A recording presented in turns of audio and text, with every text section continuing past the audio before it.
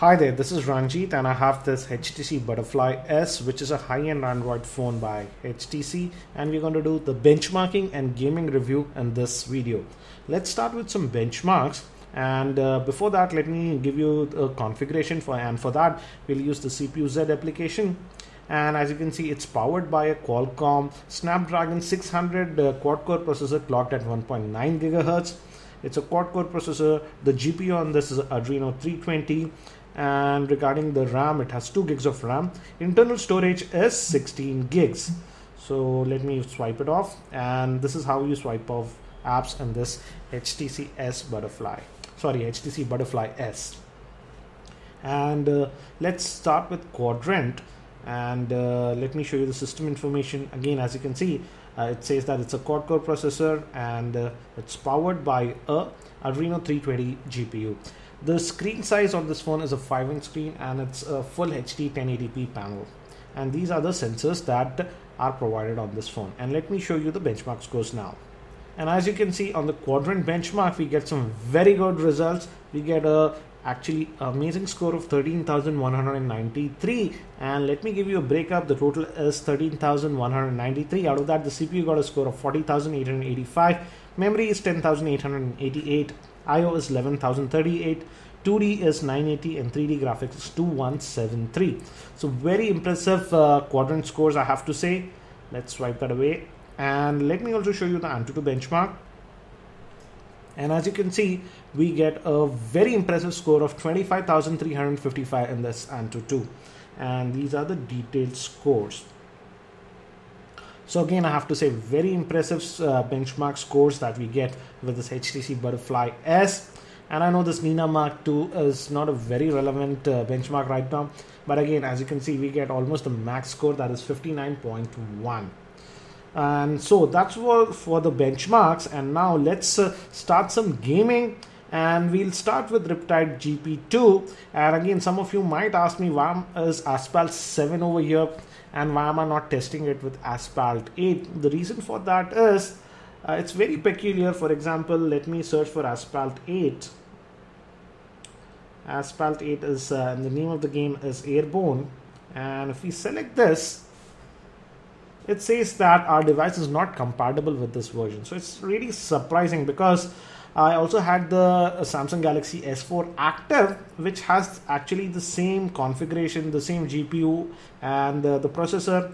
And Asphalt 8 uh, works on that, but uh, sadly, it's not working on this phone. That's why I. That's why we're going to test it with Asphalt 7. First, let's try this Riptide uh, GP2. So this is Riptide GP2 and I've customized the controls for touch again as you can see it looks it's very smooth.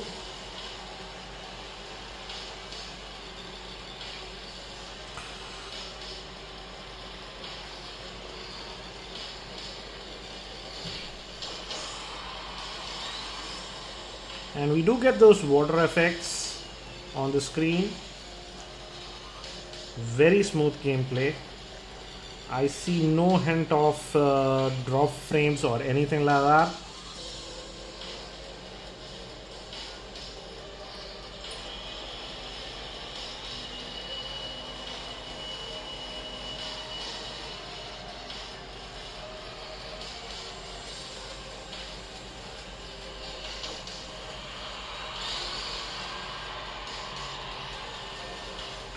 also the screen quality that HTC has put on this it's a full uh, 1080p panel is very good.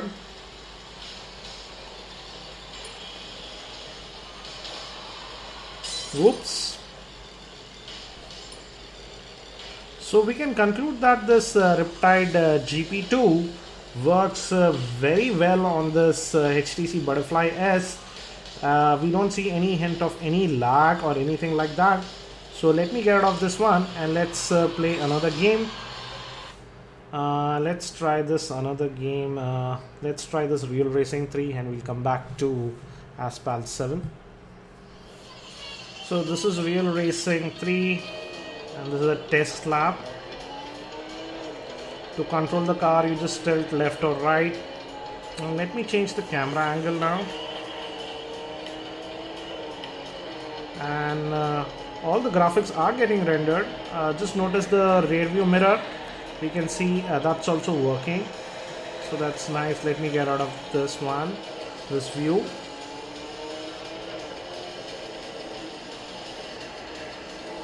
So Real Racing 3 is working very well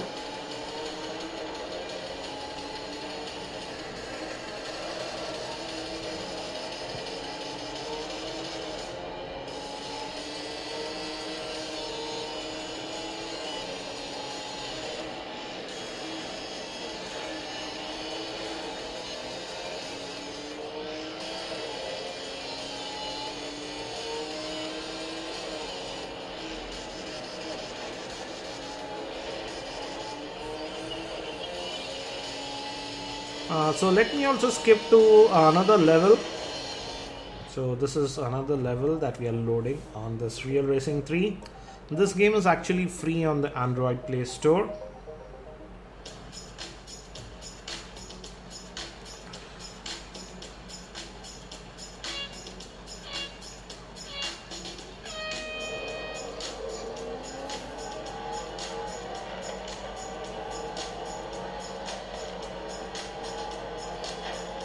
Though the audio uh, levels are not very loud, it's very clear because of these front two speakers that we have on this Butterfly S.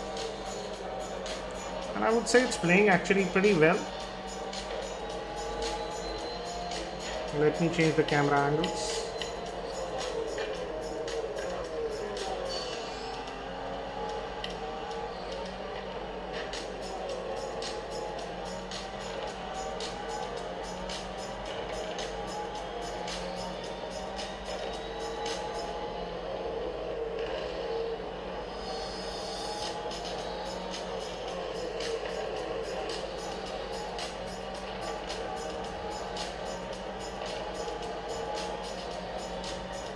So looks like uh, playing uh, Real Racing 3 will be a very good experience. I don't see any uh, frame drops or any anomalies.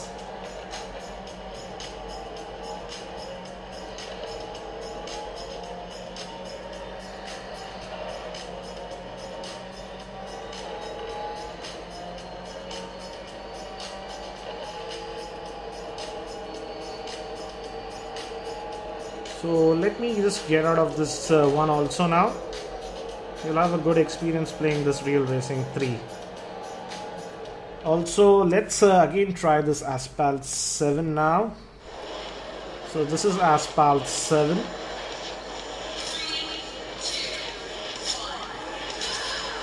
let me quickly just change the steering controls. And I'm using this on-screen controls now and it actually looks pretty good again I have to say uh, the LCD panel that HTC has put is very good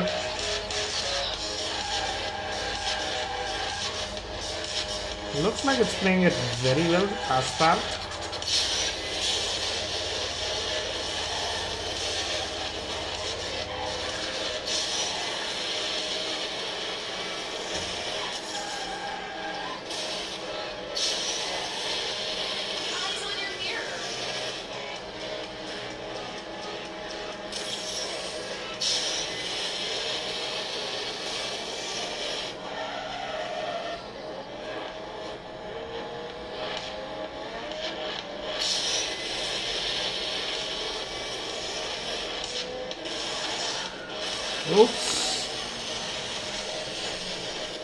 Cornered me.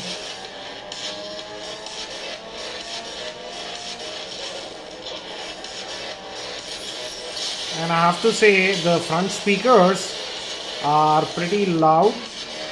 You do get a decent amount of bass.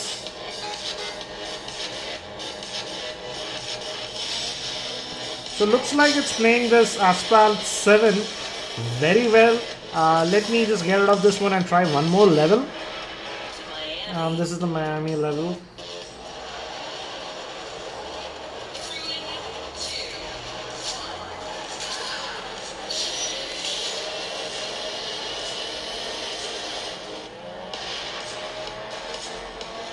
Again, a very smooth uh, gameplay as I we experienced in the last level. Don't see any lag with this one. Whoa!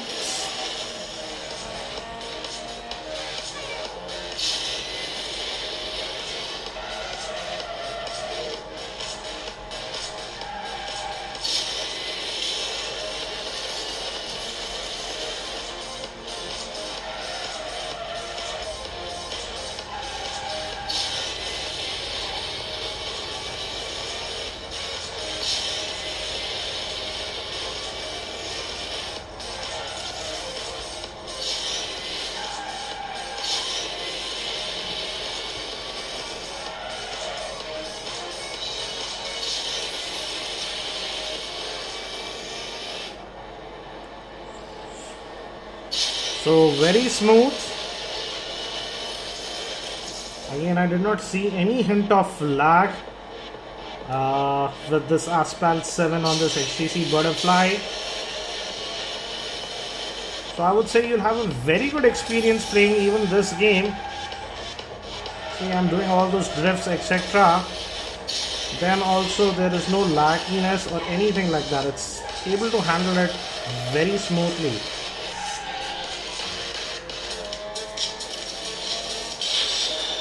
So I would say you'll have a very good experience playing Asphalt 7 on this HTC Butterfly S. So let me get out of this one also now. So we can conclude that this uh, HTC Butterfly is also very good for gaming also. It could play some heavy games. For example, we saw uh, Riptide GP2, uh, Real Racing 3 and even Asphalt 7. We did not see any hint of lagginess or anything like that. Even when it comes to the benchmarks, we got some very impressive scores. So I would say it's a very decent uh, phone even for gaming. I'll also be doing a full in-depth review of this phone shortly. So if you aren't subscribed to my YouTube channel, subscribe to the same. That's it for now. This is Ranjit and I hope to see you in my next video.